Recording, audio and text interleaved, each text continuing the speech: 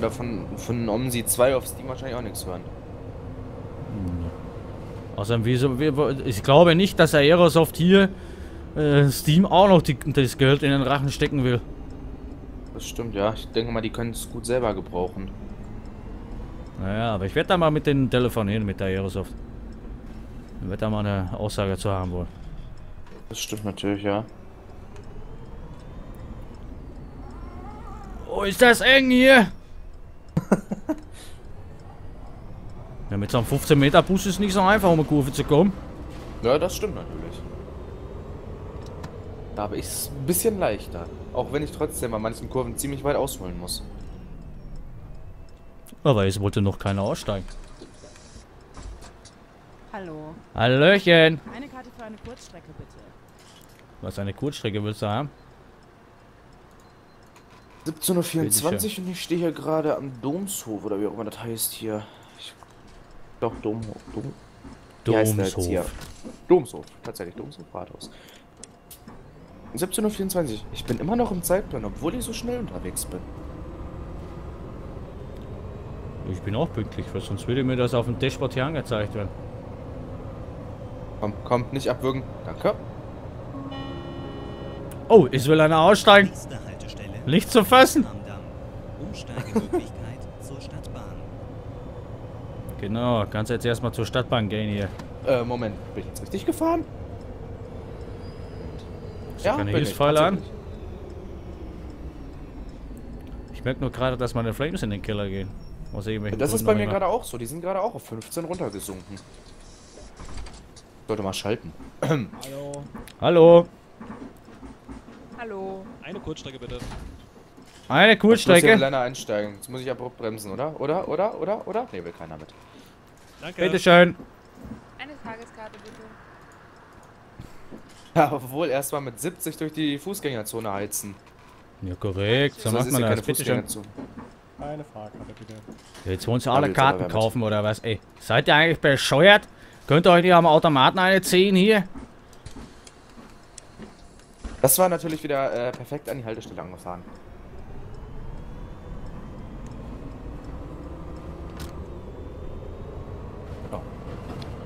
Gang Das nicht praktisch an dem Set Racer, du kannst ja die Türen schon aufmachen, da stehst du noch gar nicht. Das stimmt, das mag ich bei dem Bus hier auch. Ich fahre meistens an die Haltestelle an und kurz bevor ich zum Stehen komme, machen die Türen schon auf. Gibt natürlich auch Nachteile mit sich. Wenn man da man beispielsweise... muss da- nämlich- Man muss halt aufpassen, dass die Fahrgäste dann nicht äh, aus dem Bus rausfallen. Nee, das, das, das passiert nicht, die bleiben eh stehen. Kannst du, lieber Mercedes-Fahrer, demnächst einen Blicker früher reinsetzen, dann wäre ich schon lange um die Kurve gefahren. Ja, ich habe meinen Führerschein gewonnen, Manfred.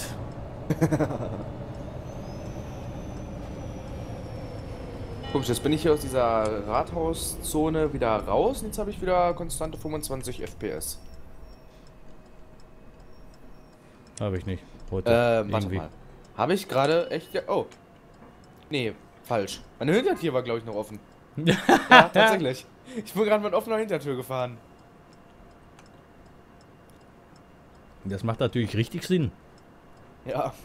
Ich muss sagen, das ist äh, einem Busfahrer bei uns auch schon mal passiert. Es war zum Glück äh, äh, im richtigen Sommer und äh, er ist... ra- Ah, Gang. Er ist äh, gerade zu einer Haltestelle Ja. Äh, macht, so, macht so die Tür zu, fährt, fährt los, bevor die Tür überhaupt mal Bewegung zeigt. Fährt los und äh, als die Tür fast zu ist, geht sie wieder auf. Und der fährt erstmal fast einen halben Kilometer mit offener Tür. Und da hat keiner was gesagt. Die fanden das alle geil. Jawohl, Das Frischluft. fanden, ta- das fanden komischerweise tatsächlich alle geil, weil es in diesem Bus so unglaublich heiß war und der Bus keine Klimaanlagen hatte. Ja, das ist natürlich praktisch, ey.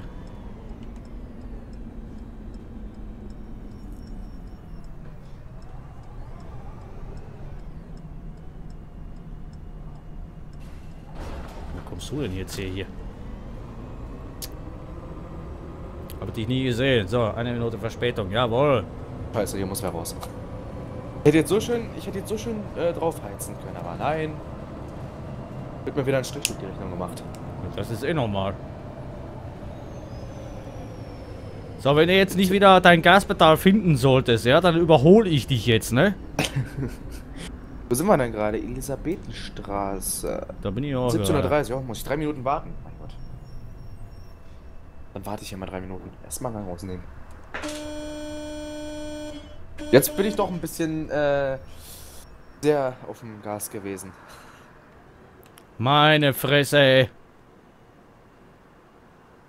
Elisabeth-Ten-Straße bist du gerade? Ja. Oh, dann bist du ja eher da wie ich. Ich bin laut Fahrplan um 17.45 Uhr da. Äh. 18 Uhr irgendwas. Also in einer Viertelstunde praktisch. Kann ja nicht sein, warte mal. 17.55 Uhr bin ich da. Na, Ja, hätte ich 10 doch Minuten die später. 10 Minuten fahrten sollen, ne? naja, aber kannst ja alles nicht Oh, vorher scheiße. wissen. Was war denn jetzt so los? Okay. Ach, ich verstehe. Ich habe gerade äh, aus Versehen den Gang eingelegt, ohne das, äh, ohne die Kupplung zu, äh, zu treten.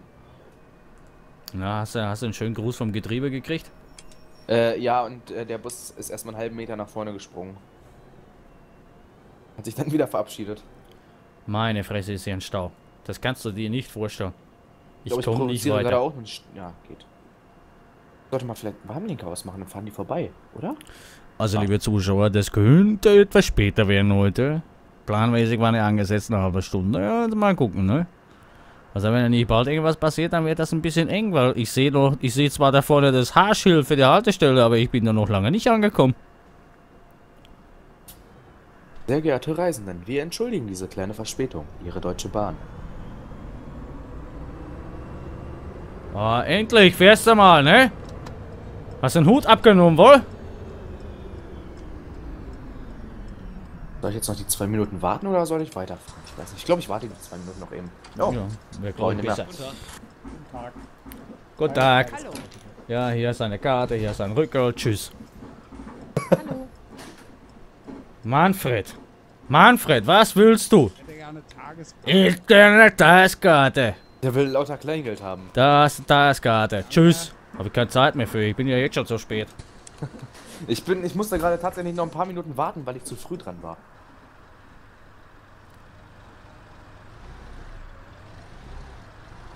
Ah, wieso muss ich jetzt abbiegen? Huch. Ah. Da habe ich jetzt so leicht den Bordstein mitgenommen. Ich fahre nicht So, scheiße, ich biege ab. Kickdown. Zwei Minuten Verspätung. Du brauchst dich da gar nicht vorbeischummeln daneben.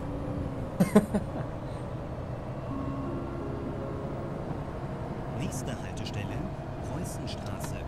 Umsteigemöglichkeit in Richtung Rheinaue und Gellenberg. Uh, war das knapp. Hat er wieder einen Blinker rausgeschmissen und gleich rübergezogen hier.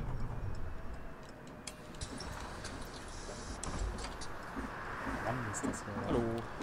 Hallo. Oh, es ist zu warm wieder in der Karre, oder was? Ja, weißt du was, ihr könnt mich auch mal, ne? Zu kalt, zu warm, zu kalt, zu kalt, zu warm.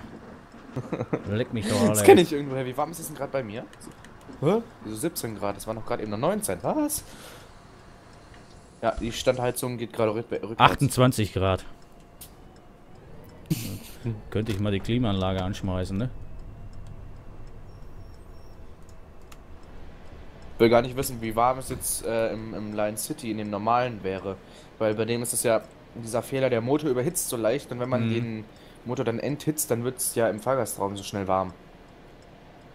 Aber das ist ja jetzt mittlerweile auch schon lange behoben, glaube ich. Nee, ist es nicht. Ich habe mir gestern die neueste Version, also diese Version vom ersten deutschen Truck-Forum oder wie das heißt, äh, geladen. Trax im Und das Forum, ist- ja. Trucks im Forum, ja. Und da ist der Fehler immer noch.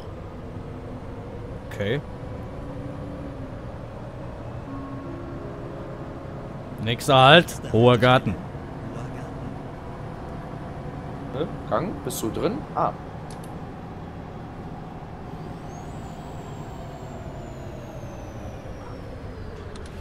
Boom.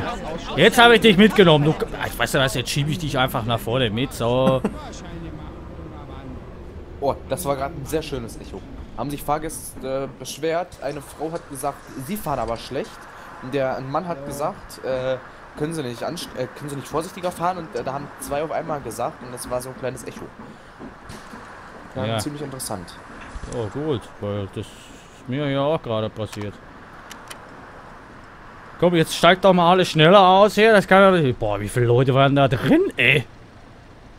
Wie heißt denn die nächste Haltestelle? Juliansberg Süd. Ja, das wird jetzt auch interessant. Wie soll ich mich denn da wieder raus navigieren, ey? 17.35 Uhr. Ja, da bin ich ja noch in der Zeit dran. Drei Minuten Verspätung. Ich bin noch, äh, eigentlich noch zwei Minuten zu früh dran. Eigentlich eine. Ich habe schon den Rückwärtsgang und alles drin, aber die Leute steigen jetzt seit fünf Minuten aus hier. Das ist doch... Da sind zu viele Leute drin in den kleinen Bus. Wo Sie gehen immer nach Hoher vorne. Garten? Hoher Garten, immer noch. So. Ja, gehst du jetzt zu, du Tür? Jawohl!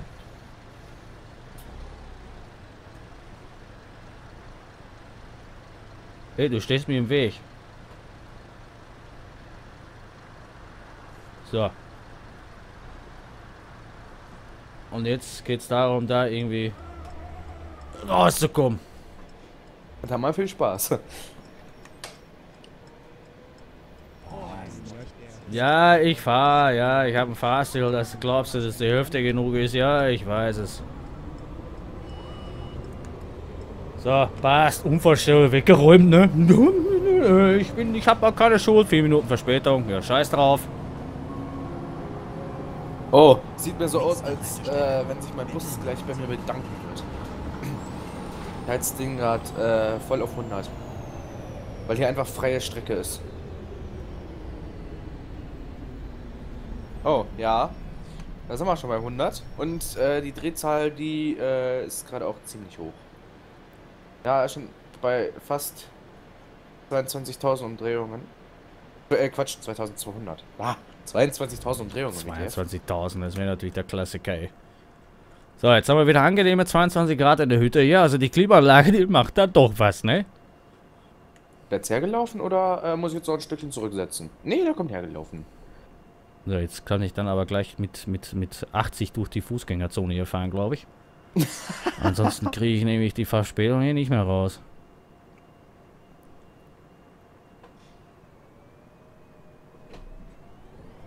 Oh, ich habe ganz vergessen, Skype auszumachen. Praktisch, praktisch, praktisch.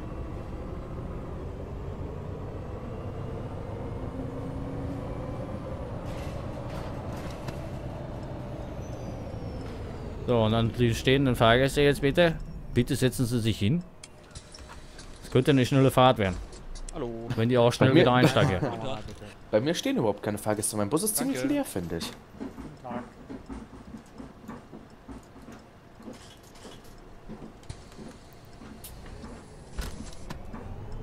Ich habe gerade so eine Schnellstraße hier und da heizt sich jetzt erstmal den Bus wieder voll auf 100.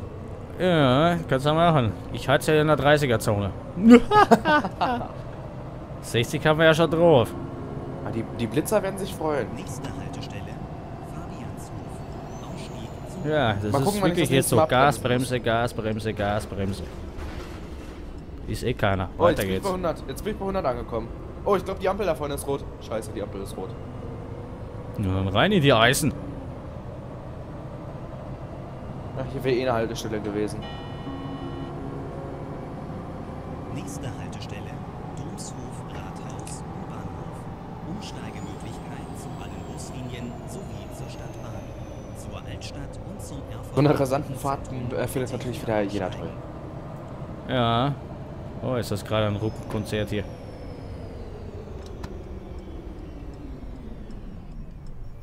Boah, jetzt wollen die alle mit mir mit. Ach du Scheiße. Du hast einen Doppeldecker. Hallo. Hallo. Oh, ich sollte. Ich vergesse irgendwie dauernd zu schalten. Tschüss. Hallo. Hallo. Ja. Und alle wollen sie eine Karte haben. Ich krieg zu viel, ey. Aber wie sie sich schön in einer Schlange aufstellen. Warum wollen So die jetzt alle das. aussteigen? Okay, die wollen alle aussteigen. Habe ich kein Problem mit. Also, äh, freiwillig. Ich habe die nicht dazu gezwungen. Ich habe sie auch nicht dazu gezwungen. Man braucht ja nur ein Auto, ein Auto anstöpseln. Dann Ja, steigen die das freiwillig alle aus. Das meine ich dazu mit, äh, mit zwingen. Die sind gerade ganz von alleine freiwillig ausgestiegen. Ohne, dass ich nachhelfen musste.